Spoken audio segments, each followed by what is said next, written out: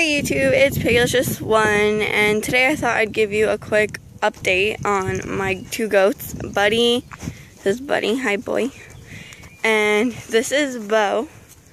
Um, you guys haven't really seen them in a while and I know I've uploaded recent videos, well recently I've uploaded videos, but all those videos have been actually pre-filmed old videos from last fall and the end of last summer. So I wanted to share with you guys what they look like now. So as you can tell, they've gotten so much bigger. Hi.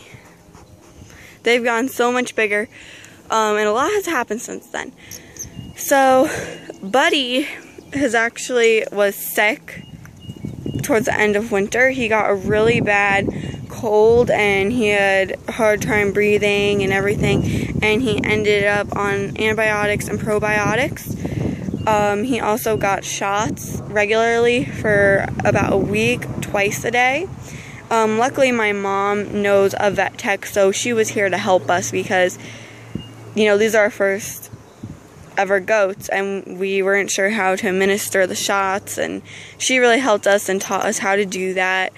Um, also, they've actually gotten boils on their chin, um, on their cheeks before and it turns out they have CL, but the vet said it's not like a bad case of it, so they're still going to live a long, happy life with us. Um, we would only put them down if we knew they were in pain, and right now they're doing really well. Also, um, you may notice they're still in our garden, and this is because they have two pens. They have their nighttime pen with their permanent house, their permanent housing structure, and a pen attached to that. And then this is their daytime pen, and it's also good because they're pooping and they're peeing in here, and that means it's really good fertilizer for when we do plant our garden this year. Um, they're going to be getting a pen put up in the backyard on the hill that we have, and our property goes pretty far back. So their permanent structure will be put up in the next couple weeks, which is really exciting. Um, Bobo, what are you doing? Uh, they're over a year now, just a little over a year. The shot, um, the shots, the vets came about three weeks ago, and they gave them their tetanus shots, and that's oh they could get that before they're neutered.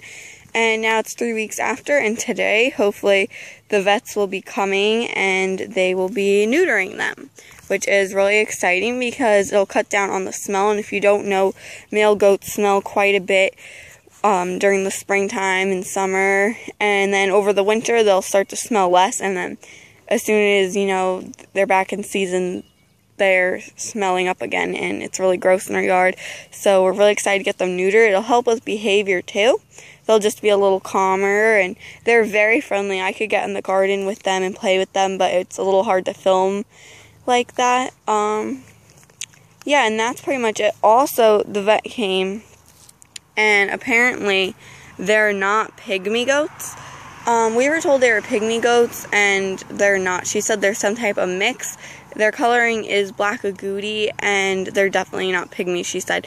She said maybe a mix of alpine is in there though, and that's a type of milking goat. But obviously, these are males, so we're not going to be milking them.